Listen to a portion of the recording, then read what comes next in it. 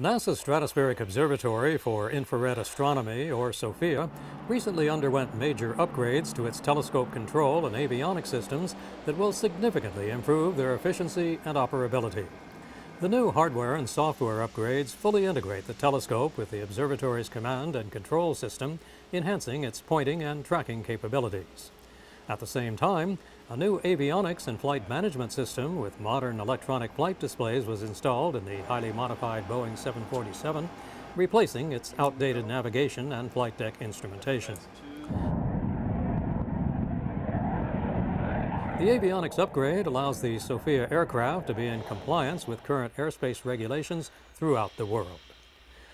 The SOFIA Observatory has begun checkout flights in preparation for a new series of astronomical observations and commissioning of its first generation instruments in early 2013.